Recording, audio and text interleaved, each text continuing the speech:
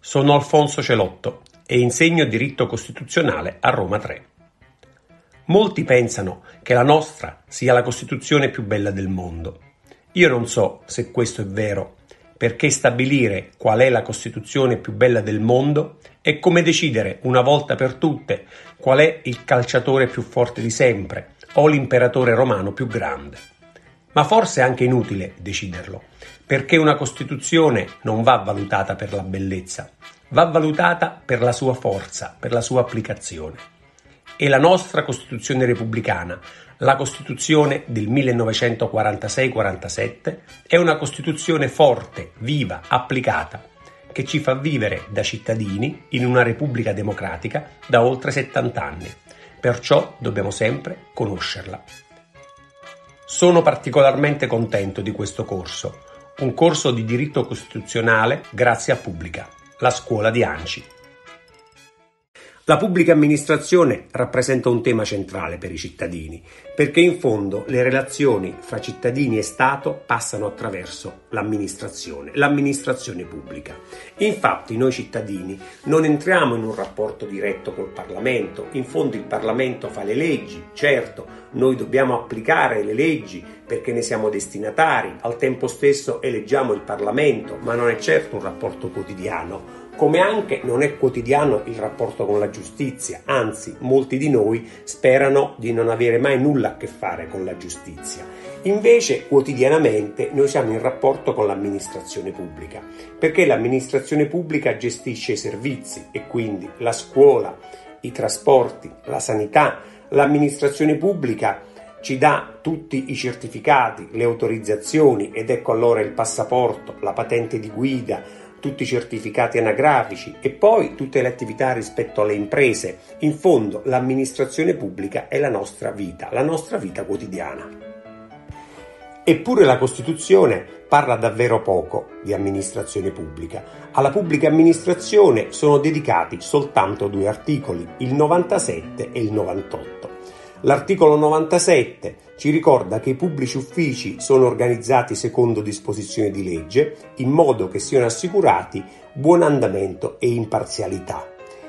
Inoltre ci ricorda il principio del pubblico concorso, cioè il fatto che agli impieghi nelle amministrazioni si accede con concorso e che nell'ordinamento degli uffici sono determinate sia le competenze che le responsabilità dei funzionari. Poi il successivo articolo 98 ci ricorda che i pubblici impiegati sono al servizio esclusivo della nazione. Questo è molto importante perché in fondo l'impiego pubblico non è al servizio di una parte politica, ma al servizio soltanto della nazione e nazione è un termine ampio, omnicomprensivo, perché in fondo è l'intero Stato comunità, cioè tutti gli appartenenti alla Repubblica in ogni loro forma fanno la nazione e il pubblico impiego è al servizio soltanto della nazione. Poi ci ricorda anche che non possono essere promossi se non, per, se non per anzianità i pubblici funzionari che sono anche membri del Parlamento e che la legge può dare limitazioni al diritto di iscriversi ai partiti politici per magistrati, militari, funzionari agenti di polizia, rappresentanti diplomatici e consolari. Veramente la Costituzione dice poco sulla pubblica amministrazione.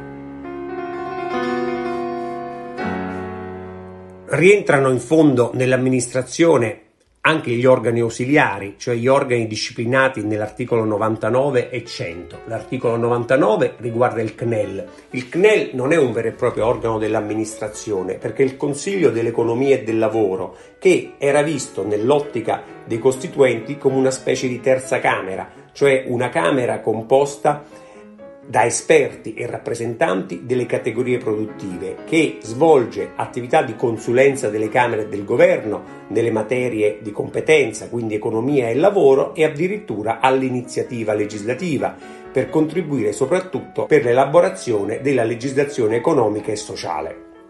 Ecco che il CNEL ha per Costituzione un ruolo di consulenza, un ruolo ausiliario non tanto e non solo del governo, ma anche del Parlamento e quindi si pone in una posizione superiore all'amministrazione, laterale. Infatti il CNEL per il Costituente dovrebbe essere un organo veramente molto importante, anche se poi invece ha assunto un ruolo marginale nell'attività degli ultimi anni, al punto che in tutte le polemiche che hanno riguardato negli ultimi decenni gli enti inutili, la casta, lo Stato sprecone, il CNEL è stato sempre visto, spesso visto, come l'epifenomeno, quindi come l'organo più inutile della Repubblica. Io penso che ciò non sia assolutamente vero, perché nell'ottica del Costituente il CNEL poteva e doveva costituire il completamento della democrazia, perché la democrazia passa attraverso il lavoro, principio fondamentale di cui è l'articolo 1, di cui è l'articolo 4, ed ecco che il CNEL dà la rappresentatività alle categorie produttive. Certo, negli anni il CNEL non è riuscito a svolgere questo ruolo,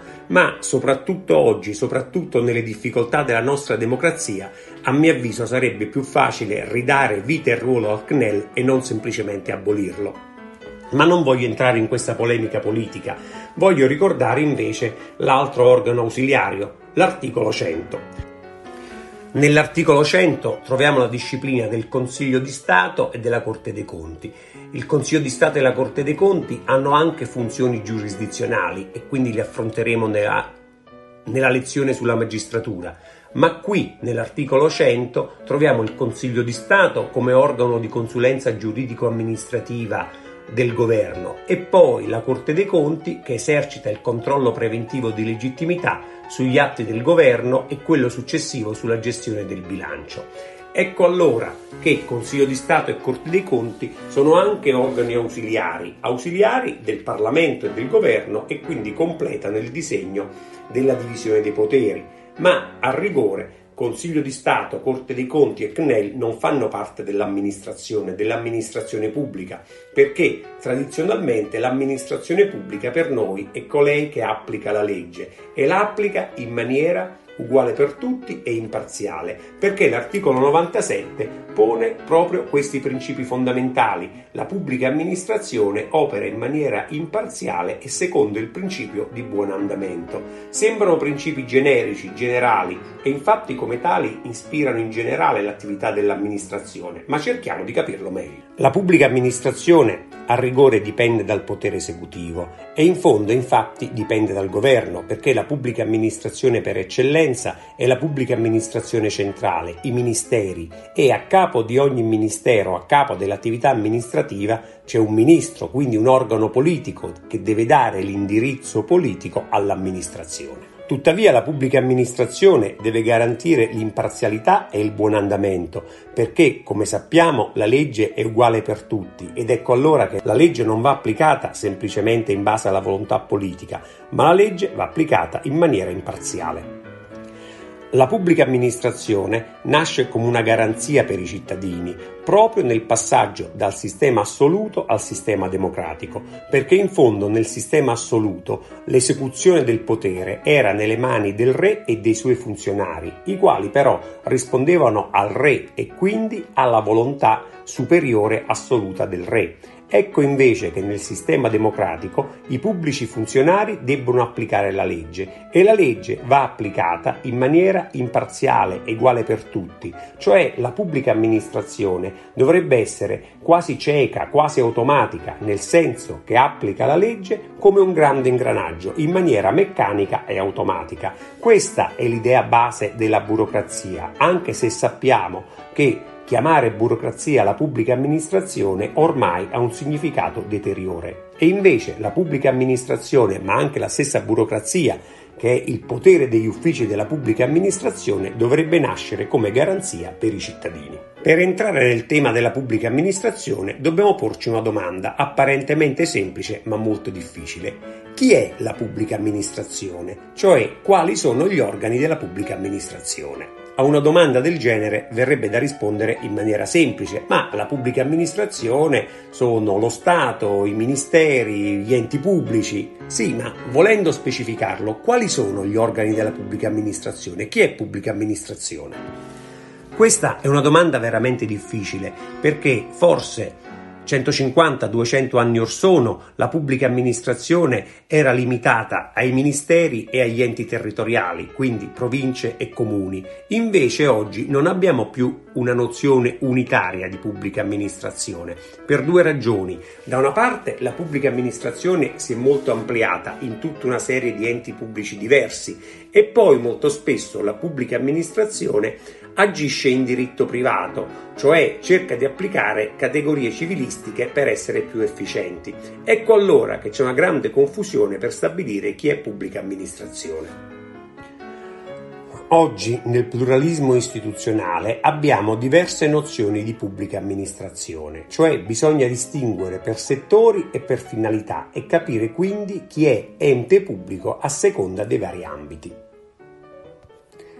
Essere ente pubblico oggi ha conseguenze rilevanti perché in un ente pubblico la disciplina del rapporto di lavoro sarà pubblico, ci sarà la soggettabilità alle regole del procedimento amministrativo, ci saranno particolari regole di bilancio e contabilità, il controllo della Corte dei Conti, il patrocinio all'Avvocatura dello Stato, la limitazione alla libertà d'azione, perché in fondo la pubblica amministrazione non ha libertà negoziale, ma deve solo applicare la legge. E ancora l'applicazione delle regole sui contratti pubblici e gli appalti pubblici, la soggettabilità al regime dei beni pubblici e in fondo ancora l'esercizio di un potere normativo generale e di auto-organizzazione, l'eliminazione delle regole ordinarie di fallimento, ancora l'indisponibilità dell'esecuzione forzata e l'assoggettamento alla giurisdizione amministrativa e non a quella civile. Ho voluto elencare le conseguenze di cosa significa oggi essere ente pubblico, però al tempo stesso è difficile capire chi è ente pubblico, perché come dicevo si è enti pubblici a determinati fini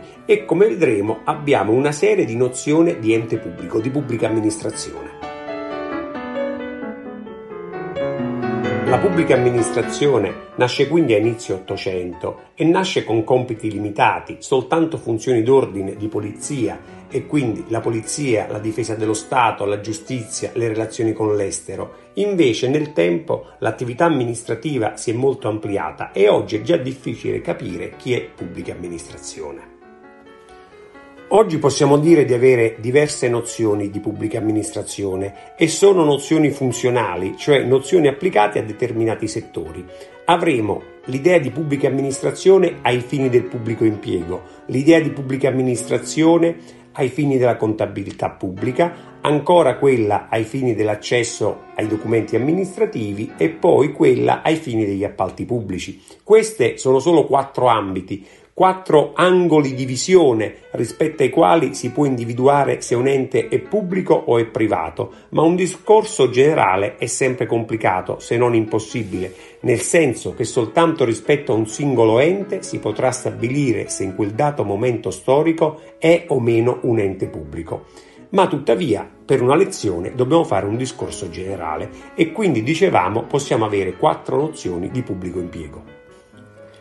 La prima è quella del pubblico impiego, cioè si è pubblica amministrazione ai sensi del decreto legislativo 165 del 2001, cioè la pubblica amministrazione dei pubblici impiegati.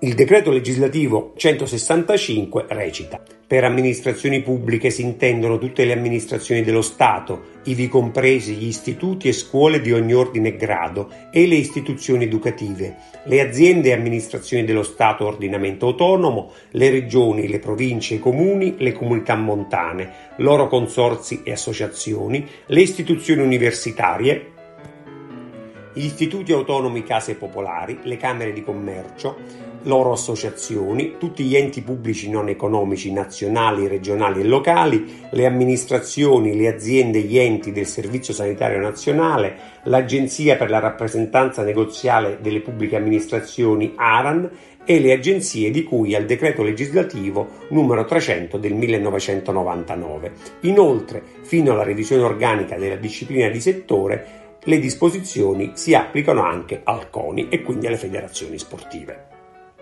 Questa nozione serve essenzialmente a dirci chi è pubblico impiegato, ma tuttavia negli ultimi anni si è affacciata un'altra nozione più raffinata di pubblica amministrazione, la nozione contabile, cioè quali sono le amministrazioni che entrano nel conto economico consolidato dello Stato, quindi quali sono le amministrazioni che in fondo ricevono finanziamenti pubblici e questa è una nozione più sostanziale ed è una nozione che trova una disciplina legislativa molto accurata. Infatti la legge numero 196 del 2009, che è proprio la legge sulla contabilità pubblica, prevede che ogni anno a fine settembre l'Istat debba pubblicare un elenco, l'elenco delle pubbliche amministrazioni e normalmente noi in Gazzetta Ufficiale troviamo questo elenco.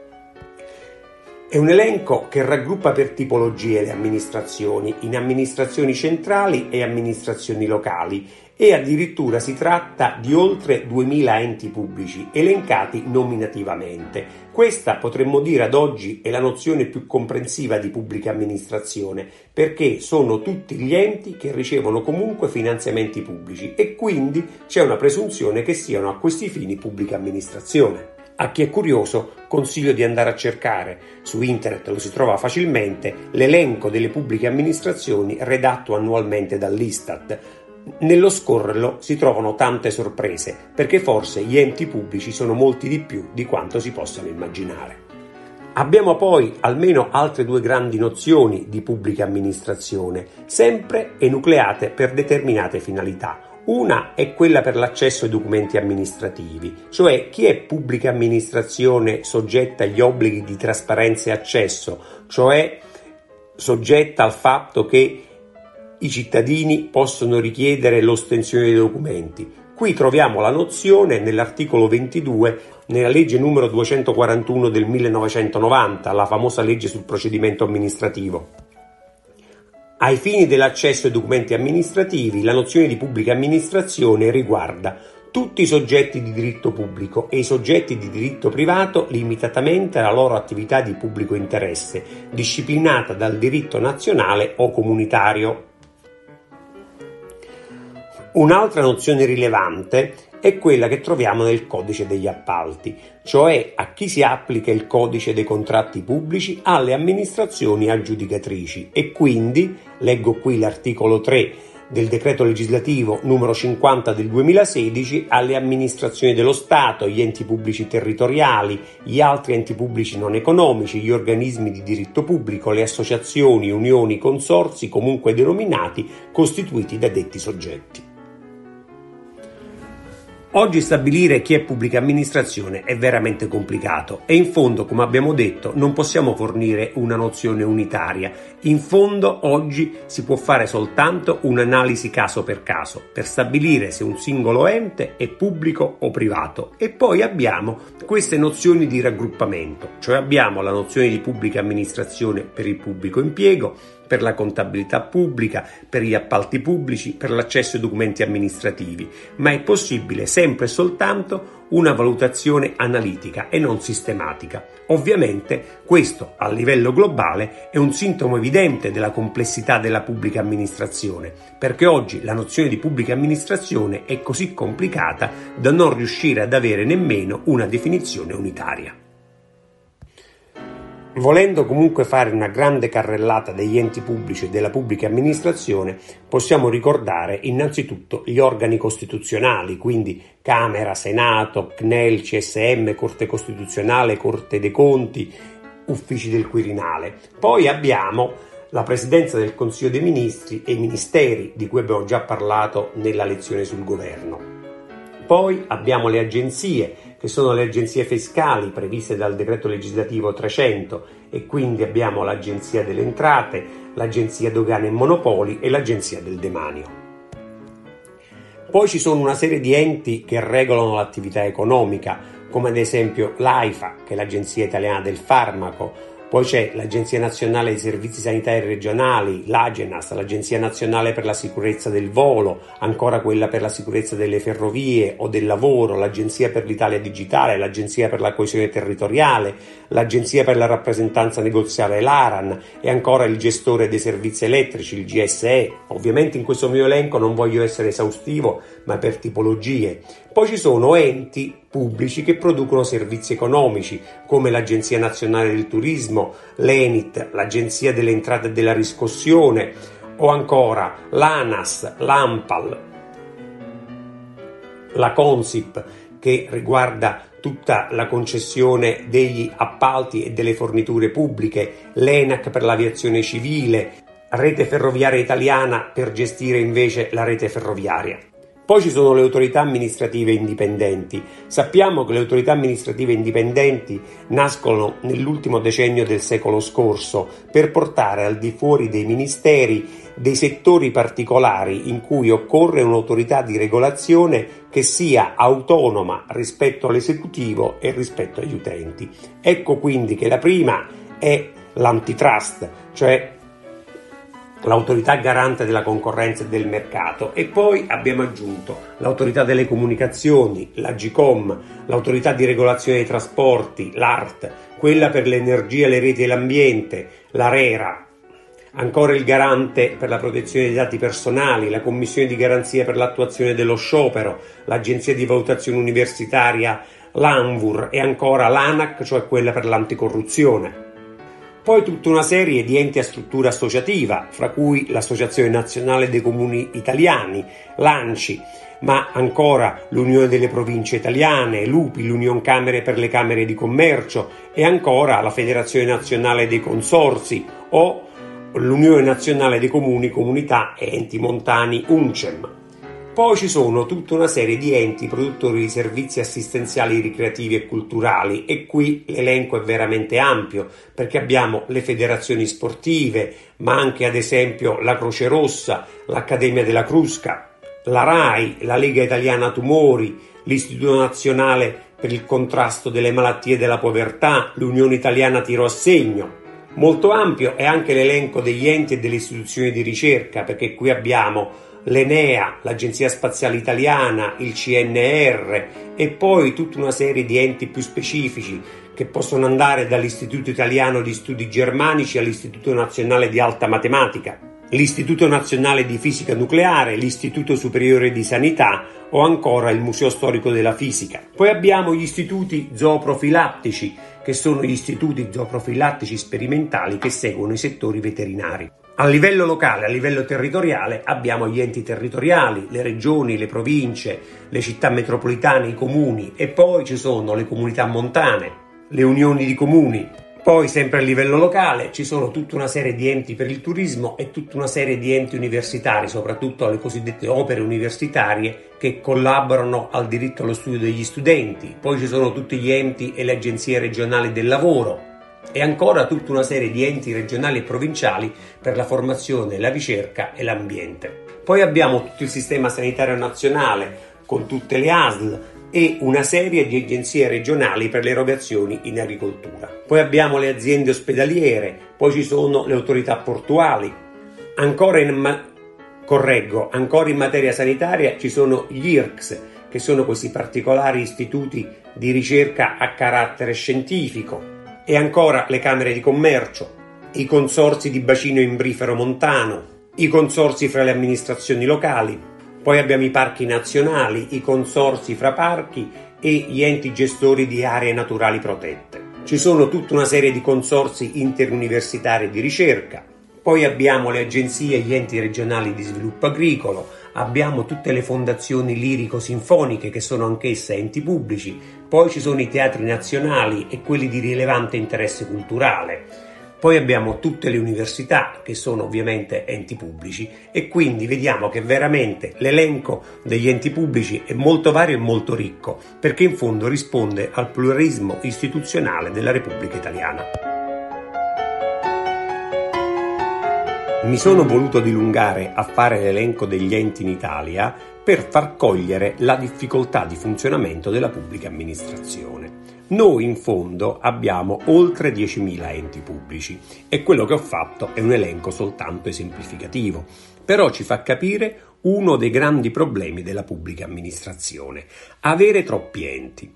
Gli altri due problemi principali sono avere troppe leggi e avere troppi procedimenti. Sulle leggi i numeri purtroppo sono chiari. Ho già ricordato la banca dati www.normattiva.it, mi raccomando con due T, che contiene tutti gli atti legislativi del Regno e della Repubblica Italiana. Sono oltre 200.000 atti. Sono atti scritti spesso in burocratese, confusi, stratificati ed ecco quindi che l'incertezza normativa e i troppi enti creano una difficoltà di funzionamento della pubblica amministrazione che peraltro ha anche troppi procedimenti e quindi il risultato finale è scarso, cioè molto spesso noi chiamiamo la pubblica amministrazione burocrazia e la burocrazia sappiamo è un termine deteriore. La burocrazia è un problema antico, forse antico come il mondo, perché già i Sumeri avevano i loro funzionari, le loro leggi e le loro regole. Infatti tutti ricordano il primo codice, il codice sumero di Urnammu, a cui poi seguirà quello più famoso di Hammurabi, e siamo circa al 2000 a.C., ma poi i funzionari erano tipici del regno del faraone egiziano, come pure della Grecia antica, di Roma e così via. Ma è inutile che noi ci dilunghiamo a parlare di stati antichi, a noi interessa la burocrazia moderna, cioè la pubblica amministrazione moderna, che è una pubblica amministrazione che nasce come garanzia dei cittadini. Perché? Perché Prima, quando c'era lo Stato assolutistico, cioè fino alla fine del Settecento, la volontà era quella del re e il re l'attuava mediante la nobiltà, Certo, il re a volte cercava di avere delle assemblee, dei parlamenti, come erano i famosi tre stati, gli stati generali in Francia, ma alla fine la volontà del re era quella e basta. Invece il capovolgimento di visione, potremmo dire la rivoluzione copernicana, è stata portata dalla rivoluzione francese e dalla rivoluzione americana che hanno detto che le regole, le leggi le fa un Parlamento rappresentativo, rappresentativo dei cittadini e a quel punto le regole vanno applicate. Vanno applicate da chi? Dalla pubblica amministrazione, da quella che chiamiamo burocrazia, ma in che modo? In maniera imparziale, in maniera che garantisca la parità di trattamento e quello che la Costituzione chiama il buon andamento. Quindi l'idea della burocrazia è un'idea posta a garanzia dei cittadini. Perché? Perché tutti dobbiamo essere trattati in maniera uguale in base al principio di legalità. Ed ecco che allora la legalità non può trovare altra declinazione se non quella di un procedimento. Un procedimento il più possibile automatico, imparziale, anonimo. Perché? Perché bisogna trattare tutti in maniera uguale.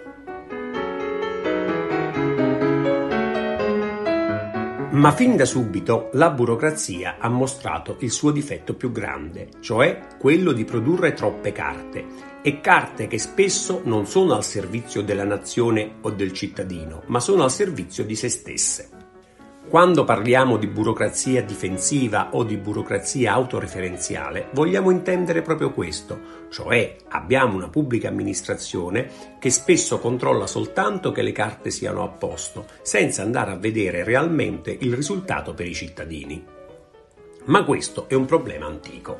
Infatti possiamo citare il ministro Farina. Il ministro Farina è dimenticato ai più perché siamo nel dicembre del 1852, siamo addirittura nel Regno di Sardegna, quindi non ancora nel Regno d'Italia e in quel dicembre 1852 si discuteva alla Camera dei Deputati del Regno di Sardegna il riordinamento dell'amministrazione centrale dello Stato.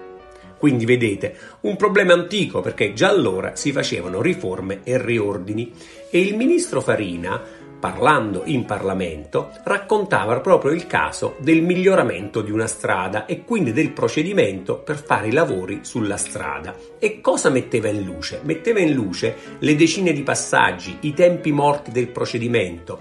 Cito testualmente accusava quell'andirivieni di documenti da un ufficio all'altro e quelle complicazioni di scritturazione, di corrispondenza e di contabilità. Quindi il problema delle troppe carte, il problema dei tempi lunghi è antico quantomeno come il Regno d'Italia, se non di più, nel senso che da sempre abbiamo una burocrazia troppo complicata. E i tentativi di riforma hanno accompagnato tutto lo Stato italiano. Voglio leggere parole di Francesco De Santis, grande personaggio del nostro regno, nel suo programma elettorale del 1865 ci diceva che le lotte politiche hanno tolto il tempo alle riforme amministrative perché nessun ministro è durato tanto tempo da compiere e attuare tutto il suo programma, perché le discussioni sono state interminabili, le interpellanze infinite, perché i ministri non hanno avuto l'autorità e la forza di spezzare tutti gli ostacoli che a riforme oppongono gli interessi coalizzati, le abitudini inveterate, la resistenza passiva, la rilassatezza delle amministrazioni. Sono parole del 1865, eppure sembrano parole di oggi, forse con un linguaggio un po' aulico, cioè nel senso che i problemi della pubblica amministrazione sono problemi già da allora ben noti. E dobbiamo dire che tutti i governi si sono impegnati a fare delle riforme, Cito rapidamente la grande riforma del 1887 di Crispi, che cercò di cambiare il volto all'amministrazione, facendo poi un rapporto, lo studio sullo stato dell'amministrazione, che venne coordinato dal Consiglio di Stato del 1892. Ma intanto l'amministrazione cominciava a crescere e lo Stato italiano si stava modificando. Siamo all'epoca di Giolitti, quando si arriva al suffragio universale maschile, che forse è stata una delle riforme più importanti dello Stato italiano, perché finalmente ha eliminato il voto per classe e per censo. Eppure già allora ci si lamentava degli sprechi, eppure ci si lamentava già del cattivo funzionamento dello Stato. Per esempio, ho trovato le memorie del ministro Finali. Gaspare Finali è stato più volte ministro all'inizio del Novecento e poi anche presidente della Corte dei Conti. Nelle sue memorie racconta un passo del 1907 chi entri oggi nell'atrio del cortile di Palazzo Braschi, ove è il Ministero dell'Interno, o in quello della Consulta, dove è il Ministero degli Affari Esteri, vede sempre e numerose in certe ore carrozze e carrozzelle, nonché ministri e sottosegretari, e di queste se ne servono direttori generali, capi di gabinetto, funzionari inferiori. Sono vetture che si pagano a mese sul bilancio dello Stato. Quanta differenza da Torino, da Firenze e dai primi anni che eravamo a Roma. Questa testimonianza è molto interessante perché è una testimonianza che praticamente già accusa le auto blu e già allora rimpiange i tempi passati di quando la capitale era a Torino, era a Firenze o i primi anni in cui era arrivata a Roma.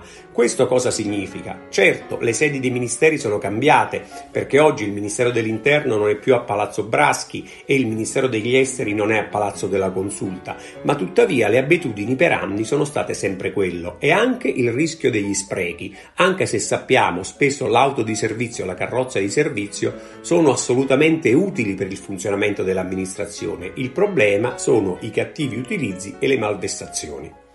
La prima guerra mondiale mise in grande difficoltà lo Stato italiano, anche perché lo Stato si trovò impoverito e soprattutto si trovò a dover assumere moltissime persone, perché proprio negli anni della guerra i dipendenti passarono da 300.000 a 500.000 e fu quella anche una misura sociale, cioè potremmo dire una misura anticipata di reddito di cittadinanza, per dare un posto di lavoro a tante persone e anche alle prime donne che in quegli anni entrarono nell'amministrazione. Però lo Stato aveva bisogno di semplificazione e già allora il governo Nitti nel 1916 usa la parola semplificazione. Pensate che nel 1917 viene insediata la Commissione per la semplificazione e ne viene insediata una per ogni ministero.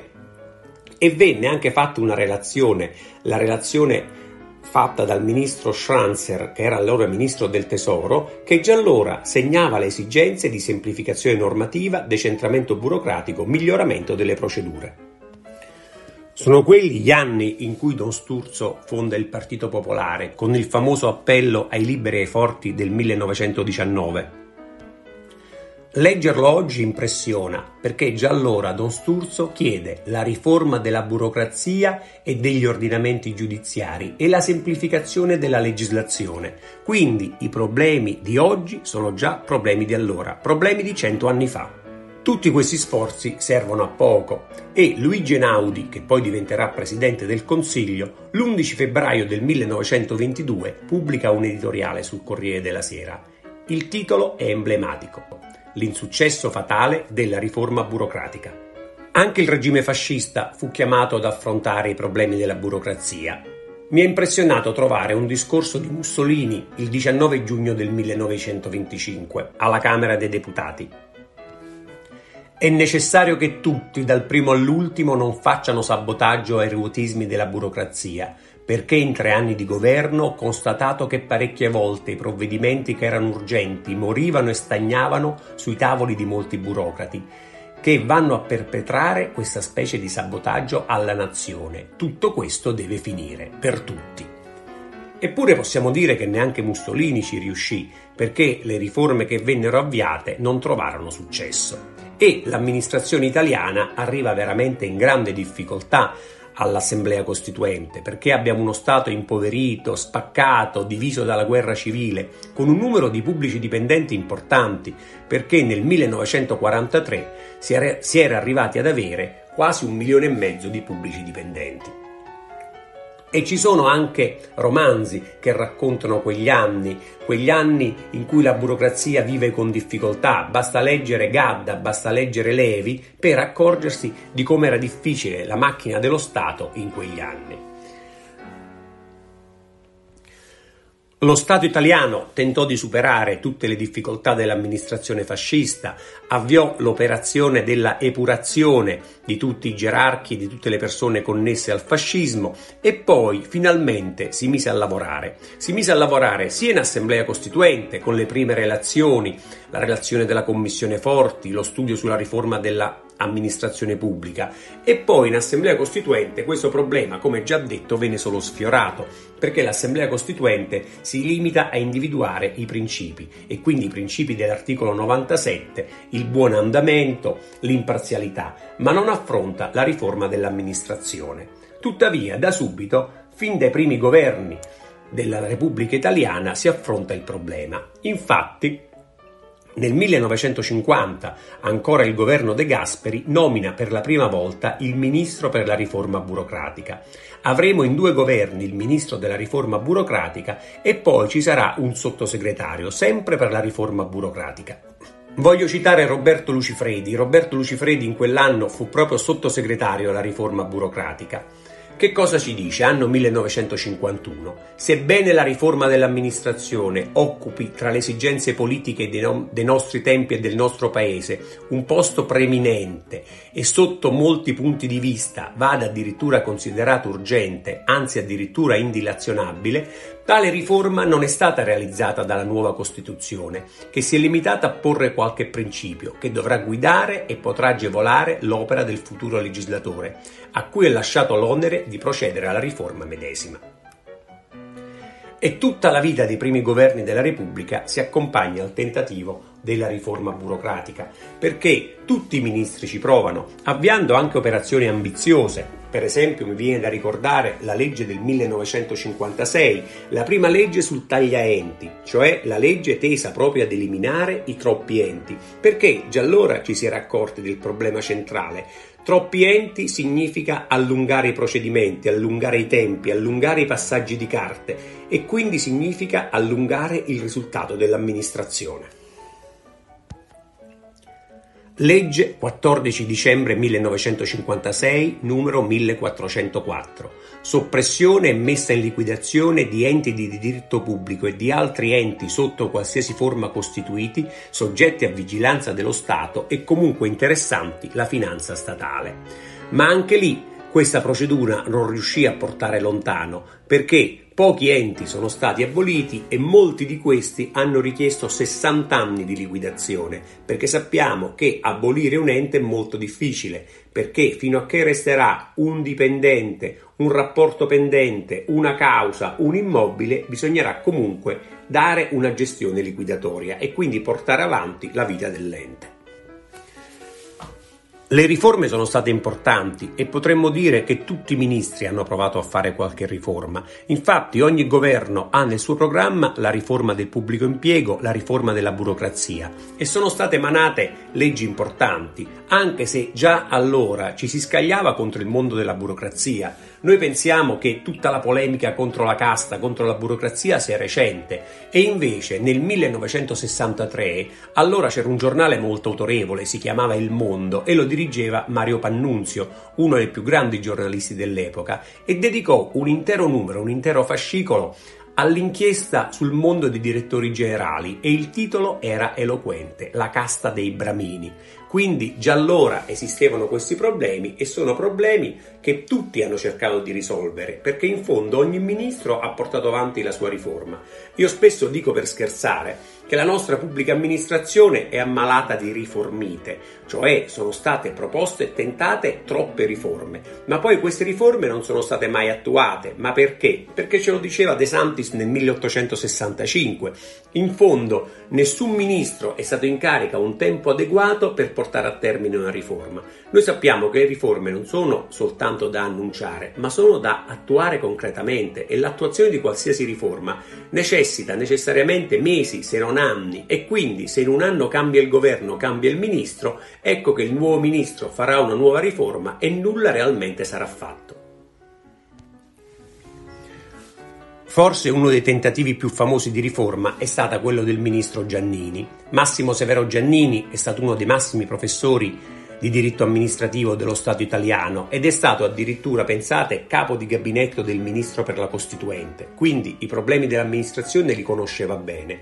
Nel 1979 è ministro della funzione pubblica e avvia il rapporto Giannini. Il rapporto Giannini è un rapporto di una trentina di pagine che ancora oggi andrebbe letto e anzi io consiglio a tutti di leggere perché è impressionante vedere come sintetizza tutti i problemi.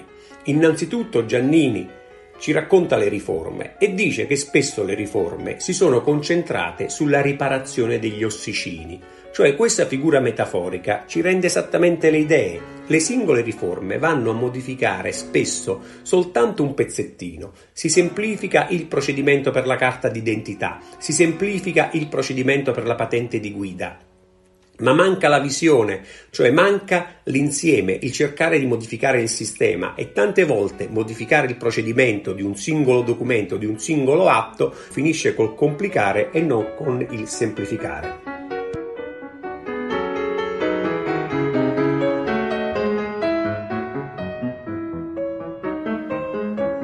La conclusione del rapporto Giannini è veramente lapidaria. La voglio leggere.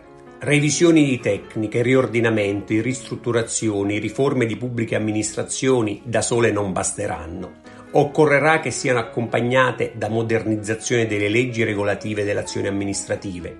Sono due le condizioni per riportare la pace fra pubbliche amministrazioni e cittadini. La pace, non la fiducia, perché questa non dipende da leggi e non si avrà finché non sia cancellata da una diuturna opera illuminata di uomini l'odierna figura dello Stato per i cittadini esso non è un amico sicuro e autorevole, ma una creatura ambigua, irragionevole, lontana. La situazione è sì gravissima, ma non è irreversibile. Si confida che la saggezza del Parlamento possa dare la spinta che occorre a tutti per iniziare a risalire. Ci fanno molto pensare queste parole di Giannini. Sono parole che ormai hanno 40 anni, ma sono parole che individuano il problema. La complicazione dell'amministrazione ha fatto sì che ormai l'amministrazione è difficile da riformare, perché non basteranno riordinamenti, riforme, ristrutturazioni, bisogna cambiare registro e solo cambiando registro cambierà il rapporto fra Stato e cittadini, perché in fondo noi cittadini abbiamo paura dello Stato, in fondo noi non ci sentiamo cittadini, ci sentiamo sudditi, abbiamo sempre paura del controllo dello Stato di polizia. Tutto ciò è stato evidentissimo poi nell'epoca della pandemia, nell'epoca del Covid, perché lì abbiamo ancora visto come sono state limitate le nostre libertà e quindi come, so- come siamo tornati a essere sudditi, a essere sottoposti ai controlli dello Stato. Ma questo cosa accade? È giusto che lo Stato controlli, ma finché noi cittadini non avremo fiducia dello Stato e dell'amministrazione, non riusciremo mai davvero a collaborare nell'interesse pubblico generale e ciascuno di noi cercherà inevitabilmente di eludere l'amministrazione avendo paura di controlli ingiusti, perché vediamo lo Stato come una creatura ambigua, irragionevole e lontana. Anche la riforma Giannini non è andata in porto e successivamente ci sono stati altri ministri che hanno avviato riforme importanti per l'amministrazione, il pubblico impiego e la burocrazia. Voglio ricordare Cassese, Bassanini, Patroni Griffi, Brunetta, Giulia Bongiorno. Tutti i ministri ci hanno provato e ci hanno provato anche con grande passione e buone intenzioni. Ma allora, dopo 150 anni di riforme non realizzate, dobbiamo ancora pensare che lo Stato sia quello del ministro Farini, cioè lo Stato dell'andirivieni di carte? Purtroppo sì. E dobbiamo pensare che sia riformabile? A mio avviso no, perché oggi abbiamo una grande possibilità la pubblica amministrazione si sta confrontando con il digitale. Il digitale è veramente un mondo nuovo ed è un mondo che può consentire una vera riforma della pubblica amministrazione. Però non deve essere una riforma che inserisce pezzi di digitale all'interno dei procedimenti amministrativi. Noi oggi troppo spesso vediamo questi procedimenti misti, cioè lasciamo il procedimento tradizionale, il modulo da compilare, modulo dove peraltro dobbiamo comunicare informazioni ben note all'amministrazione, nato, residente, codice fiscale. Ma oggi quel modulo lo dobbiamo stampare da internet, firmare con firma digitale e inviare via PEC. Questa non è semplificazione, ma spesso complica la vita perché io a mia volta devo richiedere la PEC, abilitare la firma digitale, trovare una connessione. Noi dobbiamo pensare a un'amministrazione completamente nuova, cioè un'amministrazione solo digitale. In fondo, se prendiamo proprio il mondo delle app, dei telefonini, siamo entrati in un nuovo mondo. Era impensabile poter da un'app del telefonino fare tutto, pagare, fare la spesa, comprare qualsiasi cosa.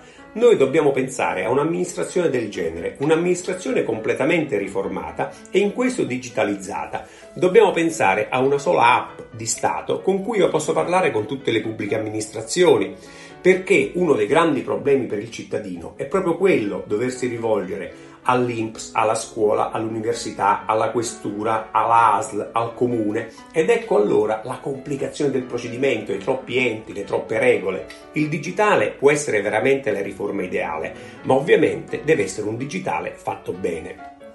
Di tutto questo la Costituzione non poteva averne consapevolezza, perché la Costituzione non conosceva ancora il digitale. Sappiamo che la Costituzione a stento disciplinava la stampa, non aveva la radio, la televisione, internet ma oggi questi mezzi di comunicazione possono consentire di affrontare e risolvere problemi che da 150 anni lo Stato italiano non risolve, cioè i problemi di funzionamento della pubblica amministrazione, perché come abbiamo visto la pubblica amministrazione è una grande macchina e dal punto di vista soggettivo è anche ben organizzata. Forse abbiamo troppi enti e questi troppi enti andrebbero snelliti e semplificati. Ma quello che è importante per il cittadino rispetto alla pubblica amministrazione è il buon andamento e le parole buon andamento dell'articolo 97 intendono la funzionalità, l'efficienza e oggi l'efficienza si può raggiungere. Col digitale non vedo altro strumento perché altrimenti semplificazioni e riforme cadranno sempre nella stessa riformite e continueremo a leggere i discorsi di cent'anni fa che già chiedevano semplificazione della burocrazia e semplificazione della normazione.